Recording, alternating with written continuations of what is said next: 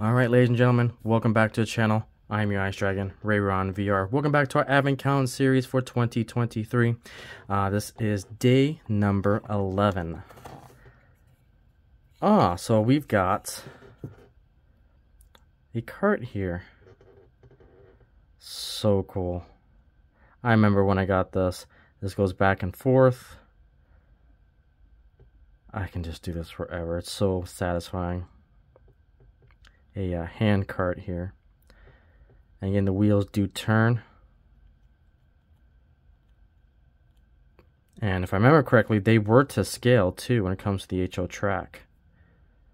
So very well thought out mini print for sure. All right, so we got day number 11 out of the way. Thank you guys so much for watching, and uh, we'll see you back on day 12.